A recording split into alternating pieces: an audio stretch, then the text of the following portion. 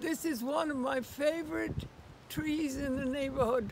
Look up because it's, uh, according to the color of the sky, it's, it's a marvelous trip.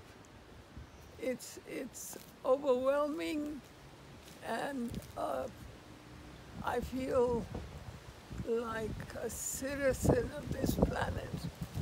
I'm so pleased to be here.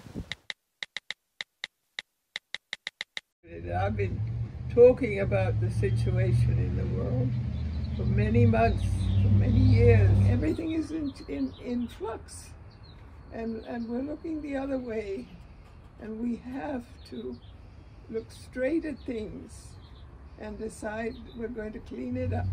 Financially, we've been uh, doing the wrong things. So I always look for the good part in every problem. How do you cope with it so that you take its power away? It should be our first concern, the health of our planet.